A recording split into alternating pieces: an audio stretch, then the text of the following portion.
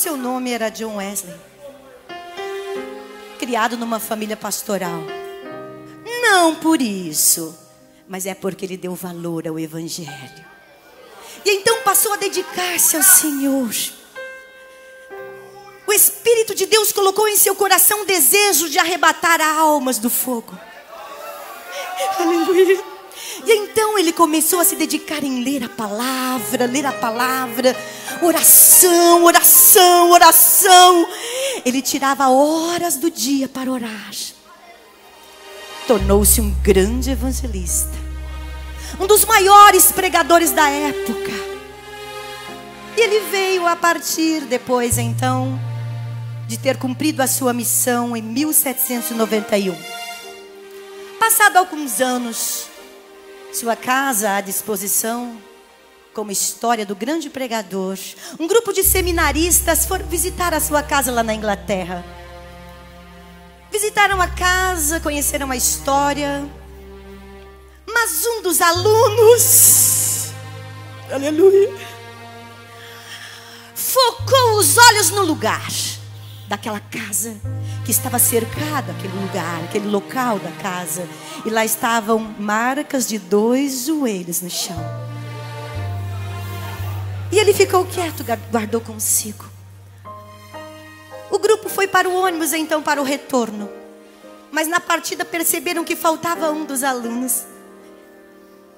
E o líder foi à procura em todos os lugares. E finalmente voltou à casa de John Wesley. Para sua surpresa, lá estava aquele jovem que havia pulado aquela corda, aquela cerca que protegia aquele local. E ouvia os sons de oração. E aquele jovem, com seus joelhos sobre aquelas marcas, falava: Senhor, faz de novo. Senhor, faz outra vez. Em outras palavras, Senhor, faz de mim também o que tu fizeste com John Wesley. E o líder, ouvindo a oração, obrigou-se a pular a cerca para tocar no ombro daquele jovem que estava tão focado no pedido a Deus. Tocou nos seus ombros e disse: Vamos, vamos, Billy Graham. Estamos atrasados.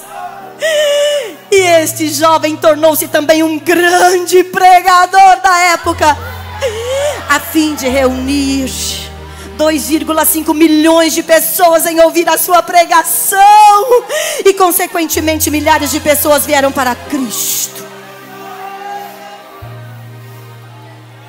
Jovens, adolescentes, todos que estão aqui. Na palavra do Senhor também fala de um jovem que seguiu o exemplo de seu Senhor.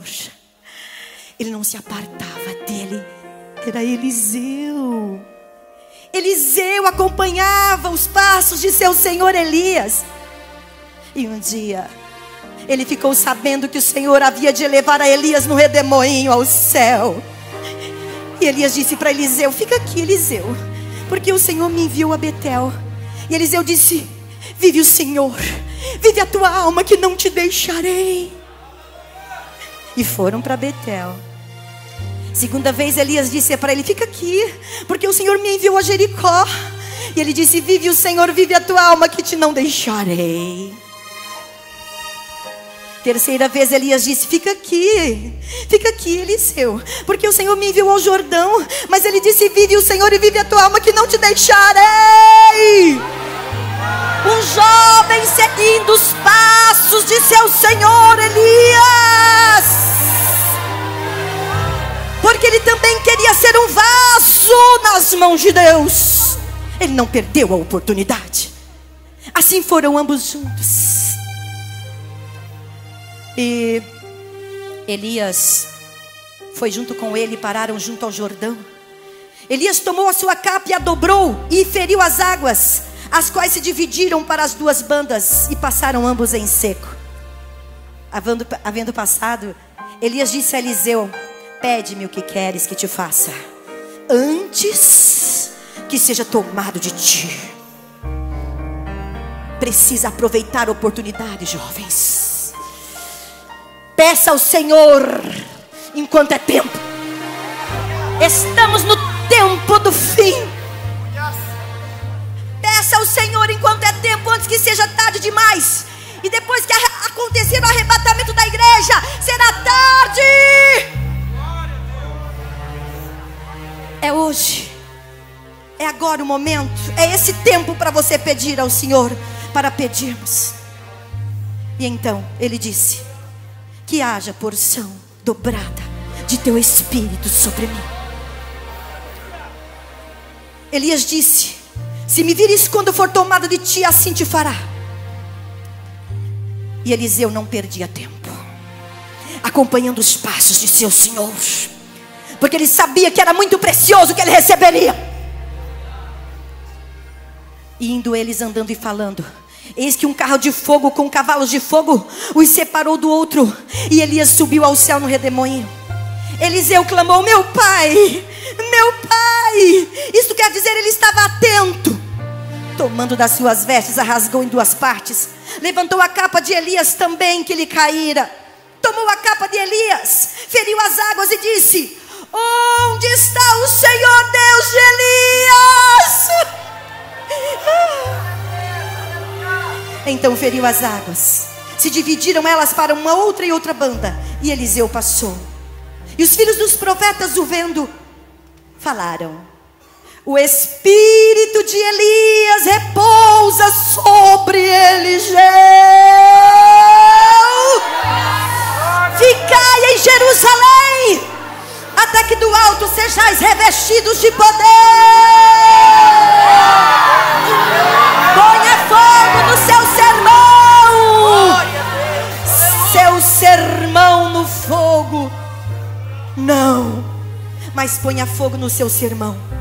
Uma das frases de John Wesley. Se colocares fogo no seu sermão, adolescente.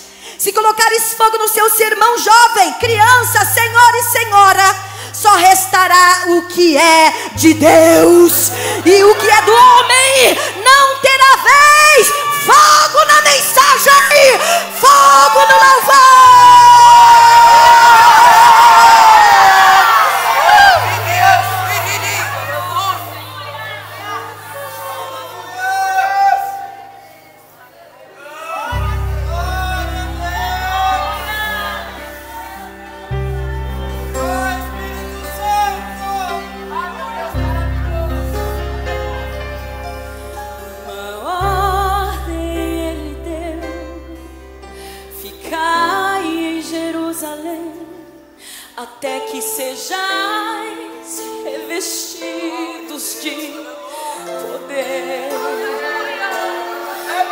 desistiram, voltaram.